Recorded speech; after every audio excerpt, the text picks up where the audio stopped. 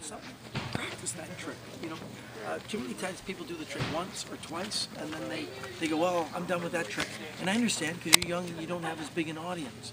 Uh, but if you can find more people to present to, there aren't a lot of places to be bad anymore.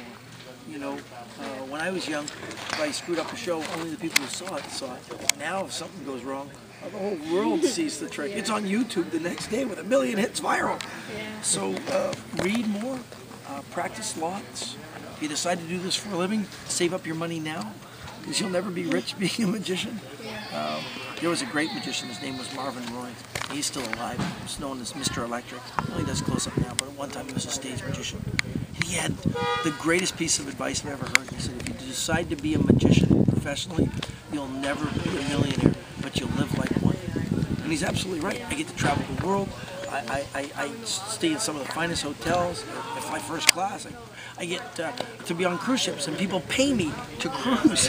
How many people can say I get paid to cruise? There's some really great stuff. Uh, but you know, at the end of the day, uh, you have to understand a little bit about business, a lot about magic, and try to see magic from the other person's point of view. Right now, when you're young, you want to fool yourself. Oh, that's good. That's a great trick. And when something fools you, you buy it. Instead, maybe spend a little bit of time thinking about not the effect, but the affect. You know the difference? The effect is what they see. The effect is what they feel. And what they feel is far more important than what they see.